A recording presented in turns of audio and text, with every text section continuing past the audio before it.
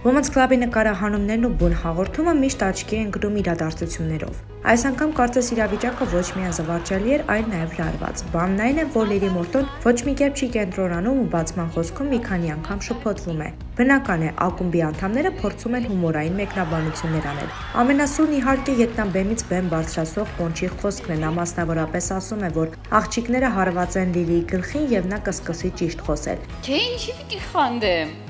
Ինքան հոգնում է, սա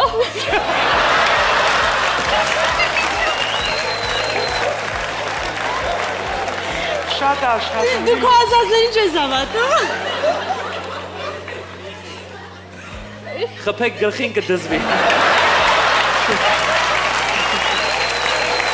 Լիլին հաղորդման այդ հատվածը տեղադրել է Instagram-ել իր էջում, որտեղ իր հետևորդներից մեկը նույնպես նկատել է Պոնչի կոպիտ արձագանքը։ Նա գրել է. Ասենք միշտ Պոնչը իր ախմախ ու տափակ հումորներով պետքա սաղ փչացնի։ Աչքիս իր գլխին որ խփում են ինքը դզվում է, փորձ ունի, դրա համար է ասում։ Ուշագրավն այն է, որ Լիլին այս մեկնաբանությանը դրական պատասխան է տվել եւ համաձայնել է, ինչն էլ վկայում է, որ միջադեպից հետո վիրավորանք այնուամենայնիվ եղել է Լիլիի մոտ։ Բաժանորդագրվեք մեր ալիքին սեղմեք զանգակի վրա, որpիսի առաջինը դուք տեղեկացված լինեք վերջին եւ ամենաթեժ լուրերից։